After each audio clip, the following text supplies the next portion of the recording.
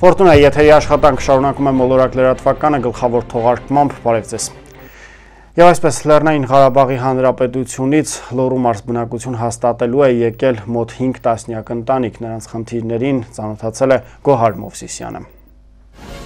Մարինե Սարգսյանը ծնվել եւ ապրել է Լեռնային Ղարաբաղի Թալիշ բնակավայրում։ Այստեղ էլ հանդիպել է ապագա ամուսնուն։ Ամուսնության 20 տարիների ընթացքում դժվարությամբ ձեռք բերված գույքից ու ապրուստից այսօր ոչինչ չի մնացել չեն դժգոհում։ Կարևորը ողջ եւ առողջ են 4 երեխաները։ Մարինեի զինվորական ամուսինն այսօր էլ հայրենիքի սահմաններն է հսկում։ 1 տարուց ավելի է, ինչ ավակ որդին էլ ժամկետային զինվորական ծառայությունն անցնում է Ասկերանի շրջանում։ Հոր մասնագիտությունն է ցանկանում շարունակել նաեւ 7-նամյա Դավիթը։ Ինչ ես ուզում դառնաս։ Զինվոր։ Որ հայրենիքս պաշտպան 9-ամյա Միլենան էլ ցանկանում է բժիշկ դառնալ, որ մարդկանց բուժի։ Ասում է Վանաձորում իրեն ավելի ապահով է զգում, այստեղ կրակոցներ չկան։ Թալիշում ապրածն ու զգացածը սարսափով է հիշում նաև 4 երեխաների մայրը։ Մարինեի խոսքով, թեև այստեղ ամեն ինչ դժվար է, բայց գոնե ապահով են։ Միշտ էլ կրակոցներ եղել է, բայց ուշադրություն չենք դարձրել, ասենք, դա փոքր-մոքր բան է, ավտոմատի բանի կրակոց է եղել բայց այս անգամ շատ ահավոր էր, այս անգամ խոշոր զենքերով էին կրակում, մի կերպ փախել ենք։ Մի ամիս մնացել ենք Երևանում, մամա հենց ստանը, հետո տեղափոխվել ենք եկել Կիսուրիստուն, Վարչով տուն ենք ճարել իրանցնելա փոքր շատ որեն երկու սենյականոց։ Դա Վարչով տուն ենք ճարել, սա արդեն 4-րդ ամիսն է ստեղ ենք ապրում։ Բազմանդամ ընտանիքն ապրում է միայն զինվորական հոր աշխատավարձով։ Մարինեն հիմա էլ աշխատանք է փնտրում, բայց գիտի, որ Վանաձորում հեշտ չէ։ Բարեգործական կազմակերպությունների կողմից սկզբում որոշակի աջակցություն ստացել են հագուստի եւ սննդի տեսքով։ Քաղաքապետարանից էլ խոստացել են 1 կիսամյակ վճարել բնակարանային վարձը։ Այնուամենայնիվ, շատ խնդիրներ շարունակում են չլուծված մնալ։ Գրենական չունեն, շորերի հարցնա մնացլա մոլորված ամուսինը նա դաղես աշխատում։ Դեղեց ինչքան փող տիպանի որ կարա այդ աղջիկը յոլա տանի, ուտելիքին, չոր շունչ է։ Մենակ ուտելի էլ հայ յոլա գնան, այդ երեխեքը դպրոց գնան, միջև հունի միշ մտնեն։ Կարամ գոնե մին հես գուրշ ճար այդ երեխեք, որ իրեն երեխեքին այդ կարա մոտիկ տեղին յոլա տանի։ Խամ երեխեք են, քաղաք տեղա, մի տեղի վրա թեքսել եմ աշխատում չեն կարա էլի որ ասեմ լավ գոնե ես տաննեն որ խոց յոլա տանը մի քանի տեգենա աշխատի շատ դժվար պայմաններում են։ Իրանք կերած սվերա, սեփական տան ապրած, երեխեք է չոլերը տեղացավը տանում։ Մինը բնակում ու մարդը կռվե չկատումը։ Դիժեր է, իրաց պայմանները շատ դիժեր է։ Շատ շատ։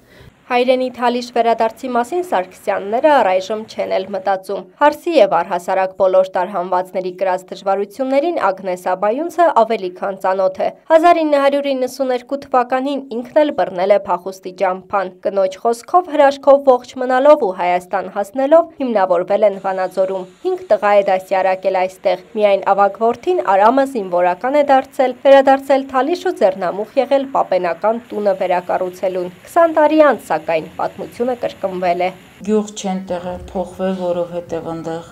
շատ վտանգավոր է հենց սահմանը, այլ այդ 800 հեկտարն է, որ իրանց մոտ է, վաշե գյուղում ապրել հնարավոր չի։ Հենց իրանց տեսադաշտում են, չեմ կարող անդեմ մնալ։ Չէ՞ հիմա այդ վախը մեր միջից էլ չի անցել։ Փաստացի Լոռու մարզում վերաբնակեցվել է Արցախից տեղափոխված 46 ընտանիք, որից 16-ը Թալիշից, 18-ը Մարտակերտից, երեքական Ստեփանակերտ, Հադրուտ, Մարտունի բնակավայրերից, 1 ընտանիք էլ Ասկերանից։ 46 ընտանիքից 33-ը տեղակայվել է Գուգարքի տարածաշրջանում։ Ընդհանուր առմամբ այսօր Լոռու մարզում վերաբնակեցվել է մոտ 60 երեխա, որից 41-ը դպրոցահասակ։ Կատարվել է կրթական եւ առողջապահական կարիքների գնահատում հնարավորության սահմաններում ցուցաբեր բերվել անհրաժեշտ աջակցություն։ Եվ համայնքներ են օգնում եւ նաեւ մենք բոլոր ընտանիքներին հնարավորության դեպքում ինչպես մյուս ընտանիքներին սնունդ հագուստ բարագանը եւ այլ եւ այլ ուրեմն սոցիալական օժանդակություն, աջակցություն մարզպետարանի կողմից հնարավորինս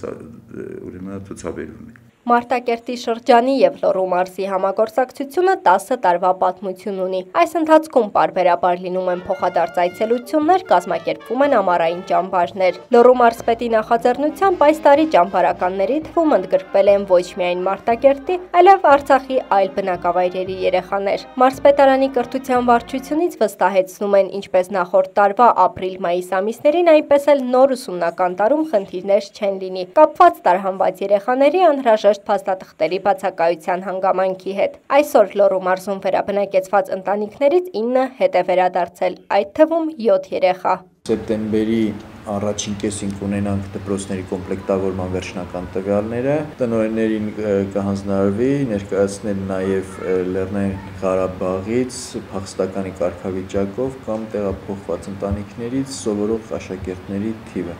եւ նույն սկզբունքով շարունակվելու է գործընթացը, այսինքն ոչ մի խոչընդոտ եւ ոչ մի հանգամանք չի դառնալու պատճառ երեխաների կրթության գործընթացը կազմակերպելու համար։ Դավիթն ու Միլենան դպրոցում լավ են սովորում։ Նրանց խոսքով իրենց այստեղ շատ լավ են ընդունել։ Հաճախում են նաև Օրան Գրիգորյան կենտրոն։ Միակ բանը, որ սեպտեմբերի 1-ին ընթառաջան հանգստացնում է Մարինեին, անհրաժեշտ գրենական պարագաների ու դպրոցական հագուստի բացակայությունն է։ Գոհար Մովսիսյան, Մհեր Թադևոսյան, Մոլորակ։ Շարունակում ենք թողարկումը, Ֆորտունան մոլորակ լրատվականի շրջանակներում շարունակում է Վանաձորը սրտում հերուստանախագիծը, այսօր Վանաձորը սրտում Գայանե Քալանթարյան։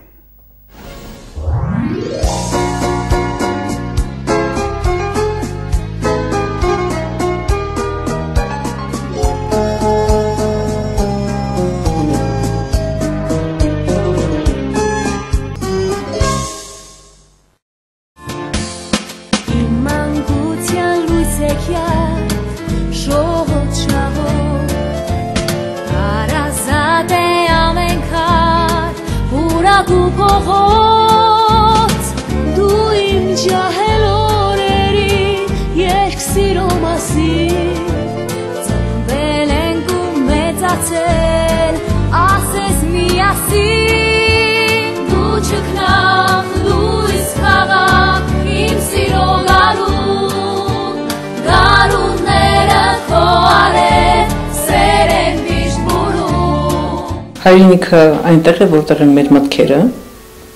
մեր սիրտը, մեր հույզերը, իսկ այդ ամենը գտնվում է Վանաձորում եւ այդ պատճառով ես ապրել եմ շարունակում եմ ապրել այստեղ։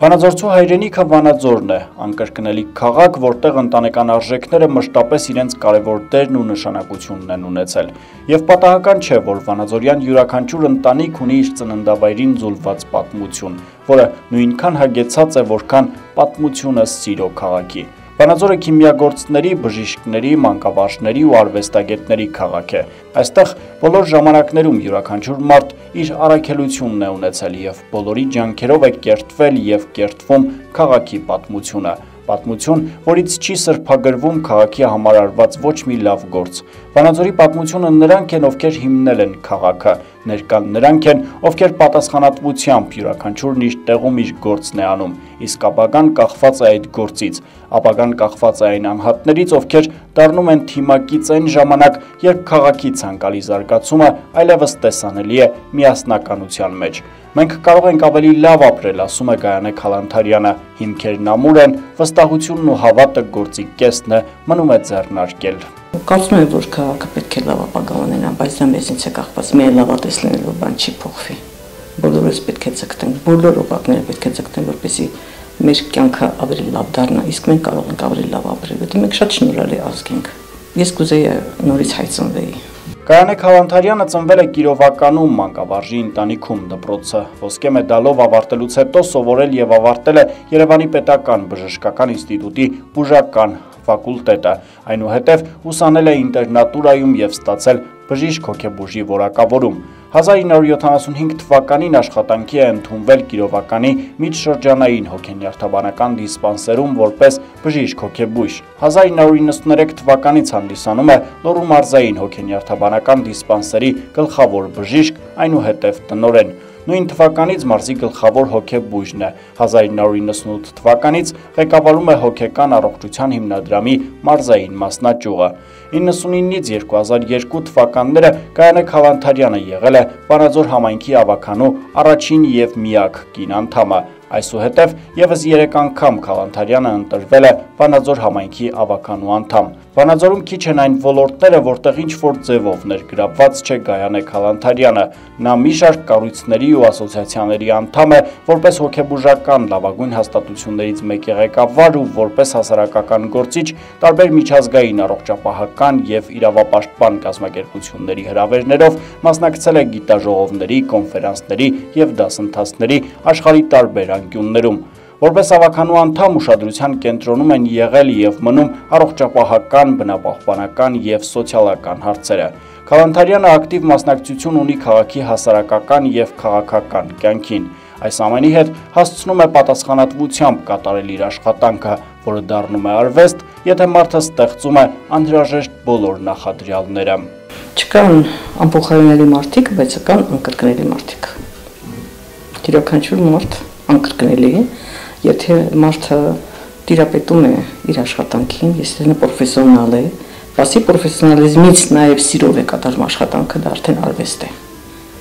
Ուրեմն մենք կարողացել ենք մեր բժիշկներով եւ մյուս աշխատողները, որոնք լրացնում են մեր աշխատանքը,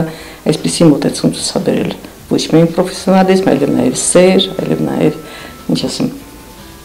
յուրատուկ մոտեցում մեր կատարած աշխատանքի հանդեպ, որը տալիս է պետք է որ տա արդյունքը։ Վանաձորը քաղաք է, որտեղ հաճախ են հանդիպում մարդիկ, որոնցով կհպարտանար յուրաքանչյուր համայնք։ Վանաձորցին հավատում է իր բնորանի վաղվա օրվան։ Լորվա գեղեցկուհին պետք է ծաղկի ոչ թե տարեց տարի, այլ օրեցօր։ Վանաձորյան յուրաքանչյուր արևածագ պետք է ազդարարի նոր կյանք եւ ցույց տա ապագա տանող կանաչ ճանապարհը։ Վանաձորի այցեքարտը ես կարծում եմ, որ առաջին հերթին մարդիկ են, եւ ամենակարևոր ռեսուրսը դա մարդկային ռեսուրսն է, որը Վանաձորը շատ հարուստ է եղել, գիրովական հարուստ է եղել մարդկային ռեսուրսով եւ հիմա էլ հարուստ է եւ իմ առօրյա գործունեության ընթացքում իմ մասնավոր շփումների ընթացքում ես հիանալի մարդկանց եմ հանդիպում, հիանալի մարդկանց, բարի, արդար, արդարամիտ, պարտքեշտ մարդկանց, որոնց կարող եք ցանկացած համայնքը պարտանալ եւ իհարկե մեր հրաշալի բնությունը եւ մեր մեղմ կլիման, որ աշխարհը սպատակում տեսնում ես, որ ամենևս քո քաղաքը ամենա ամենահարուստն է այդ առումով։ Կանաչ քաղաք իմ վանածոր դու դեռ պիտի ծախես դու սոպայցար քո ապագան ահա տեսնում եմ ես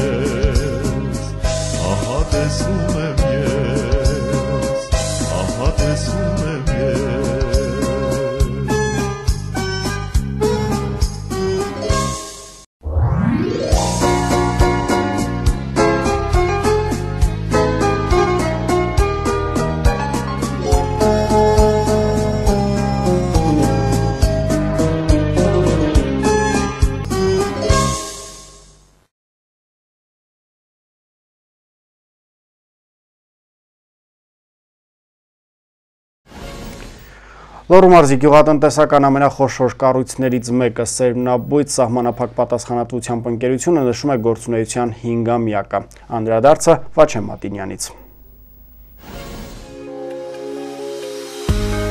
Լոռու մարզի Վարդաբլուր համայնքում գործող Սերնաբույց ամենափակ պատասխանատվությամբ ընկերությունը գյուղատնտեսության ոլորտում տարածաշրջանի խոշոր ձեռնարկություններից մեկն է։ Այստեղ իրականացում է կարտոֆիլի եւ հացահատիկի, մասնավորապես ցորենի մշակում։ Մշակվող հացահատիկից ստանում են 3 տեսակի ցորեն, որն էլ վաճառում են Հայաստանի ամբողջ տարածքում, պահանջարկի դեպքում էլ արտահանվում է Վրաստան։ Հարևան պետություն եւ Հայաստանի ամբողջ տարածքում, այդ թվում նաեւ Լեռնային Ղարաբաղի Հանրապետություն, արտահանվում է նաեւ կարտոֆիլը։ Հիմնական սպառման շուկան ընդգրկում են Լոռու մարզը Արարատյան դաշտավայրի հարակից բնակավայրերը։ Այստեղ մեծ պահանջարկ ունի վաղահաս կարտոֆիլի ագաթա տեսակի տնկանյութը։ Այսպիսով, Սերմնաբույծ ընկերությունը իր ներդրումն է ունենում Հայաստանի գյուղատնտեսության զարգացման գործում։ Սա այն դեպքն է, երբ անունը եւ բովանդակությունը համապատասխանում են միմյանց։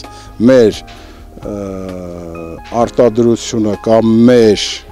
այն գործը, որը պետք է անենք, դա կոչվում է սերմնաբուծություն, սերմ արտադրություն։ Սերմնաբույծ ընկերությունը 25 տարի առաջ առաջին անգամ իր դռները բացեց հողագործների առջև։ Գործունեության առաջին օրվանից սկսեց արտադրել որակյալ եւ որ ամենակարևորն է բարձր տեսակի բանջարեղեն ու հացահատիկ։ Ընկերությունը ձևավորվել է 1991 թվականին եւ ընդգրկել է մոտ 300 տնտեսություն։ Սկզբում կրել է Վարդավլուր 1 գյուղացիական կոլեկտիվ տնտեսություն անվանումը։ Այդ ժամանակ ընկերության կազմում եղել են համայնքի վարելահողերի մոտ 75%-ը եւ մշակվել է կաղամ, վարունգ, լոբի, սող, վարսակ, եգիպտացորեն, կարտոֆիլ, դդում եւ այլն։ Ներկայումս ընկերության կազմում մնացել է մոտ 100 հեկտար վարելահող եւ մշակվում է միայն կարտոֆիլ, ցորեն, արվույթ եւ վարսակ։ Մյուս բանջարեղենների եւ հացահատիկի մշակումը դադարեցվել է իրացման խնդրի պատճառով, սակայն ընկերության հիմնադիր տնօրեն Վրամ Գյուլզատյանը նշում է, որ պատրաստ են ուրիշ տեսակի բանջարեղեն մշակել, միայն թե գնորդ լինի։ Իրացման խնդիրներ միշտ կան դա լինի ֆերմերային տնտեսություն, գյուղացիական տնտեսություն, կոոպերատիվ, ՍՊ, ինչ էլ լինի որտեղ մեր երկրում եւ ոչ միայն մեր երկրում այդ խնդիրը կա երբ որ բերքը բարձր է գները ցածր են իրացումը դժվար է երբ որ բերքը քիչ է գները բարձր են լինում իրացումը արագ է Ներկայումս ընկերությունը զբաղվում է սերմերի, վաղահաս եւ միջահաս կարտոֆիլի տնկանյութի արտադրությամբ։ Այս տարի մշակվել է աշնանացան ցորենի 3, Կրասնոդարի 99, Վասա եւ Յուկա տեսակ։ Համագործակցելով գյուղնախարարության հետ աճեցվել է սուպերելիտա տեսակի ցորեն եւ ստացել են որակյալ էլիտա տեսակի սերմացու, ինչպես նաեւ կարտոֆիլի, ագաթա, իմպալա, մարֆորա տեսակների բարձր վերարտադրության տնկանյութ։ Ցանել են 22 հեկտար, ստացել ենք իրոք շատ բարձր բերք այդ 22 հեկտարից Հիմա ունենք էլիտա, որտեղ սուպեր էլիտայից ստացվում է էլիտա։ Եվ մոտ 100 տոննա, մի քիչ էլ ավել վաճառքի սուպեր էլիտայի սերունդը ունենք վաճառքի։ Մեր հիմնական զբաղմունքը դա է։ Նաև իհարկե շարքային կամ պարենային կերի, ցորենի արտադրություն, կարտոֆիլի պարենի արտադրություն, բացի սերմը։ Բացի բանջարեղենի եւ հացահատիկի որակյալ սերմացուներ արտահանելուց, ընկերությունը ստեղծել է աշխատատեղ Վարդաբլուրի եւ Հարագից համայնքների բնակիչների համար։ 25 տարիների ընթացքում ընկերությունը աշխատանքով է ապահովել հարյուրավոր բնակիչների։ Նրանցից ոմանք առաջին իսկ օրից աշխատում են ընկերությունում։ Վերջիններիս աշխատանքի բուն սեզոնը սկսվում է ցանքի եւ բերքահավաքի ժամանակ։ Աշխատակիցները գարնանը ցանում են կարտոֆիլն ու ցորենը, իսկ արդեն աշնան մոտ հավաքում իրենց բերքը։ Կարտոշկա ենք ցանում, հետո կարտոշկա ենք հանում բերքը լավնալը մեր կոլեկտիվի դե մեր գյուղում երևի մենակ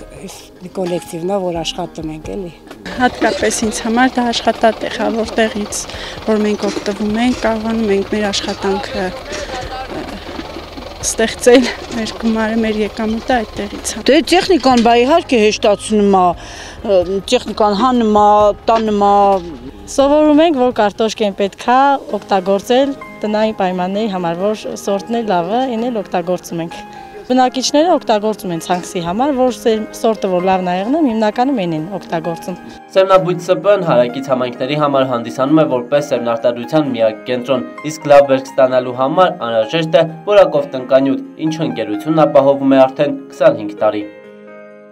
Բաշամատինյան Արեն Ավակյան, Մոլորակ, Վարդաբլուր։ Սպասվող եղանակի մասին կարճատև դաթայից հետո կխոսի Արնա Անտոնյանը, իսկ ես ձեզ այսքանով հրաժեշտ եմ տալիս եւ մաղթում ամենայն բարիք ցտեսություն։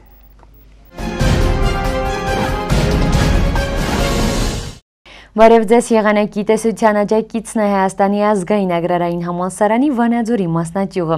Լոռու մարզում օդի առավելագույն ջերմաստիճանը կլինի 30 աստիճան տաքություն, այժմ ջերմաստիճանն ըստ քաղաքների։ Տաշիրում գիշերը սպասվում է 13 ցերեկմիջև 26 աստիճան տաքություն, Ալավերդիում գիշերը կանխատեսվում է 20 ցերեկմիջև 30 աստիճան տաքություն, Սպիտակում գիշերը կդիտվի 17 ցերեկմիջև 25 աստիճան տաքություն, Ստեփանևանում գիշերը սպասվում է 15 ցերեկմիջև 26 աստիճան տաքություն տաքություն։ Մարս կենտրոնում գիշերը սպասվում է 17, ցերեկը մինչև 25 աստիճան տաքություն։ Երևանում գիշերը սպասվում է 22, ցերեկը մինչև 35 աստիճան տաքություն։